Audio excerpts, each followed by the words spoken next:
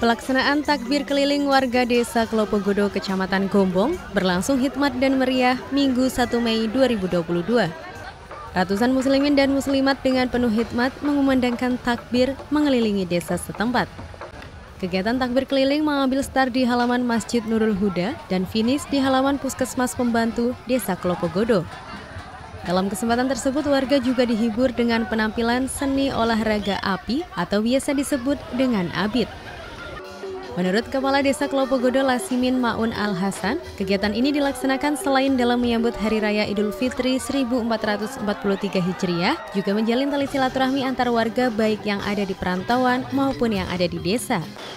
Untuk mempersatukan eh, Karang Taruna dengan masyarakat yang selama ini dua tahun belum diadakan yang semeriah ini. Terus untuk Abid itu tujuannya untuk melestarikan budaya Islam yang selama ini juga belum bisa dikembangkan.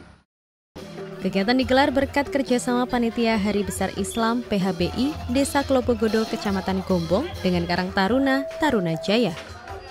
Dari Gombong, Tim Liputan Ratih TV memberitakan.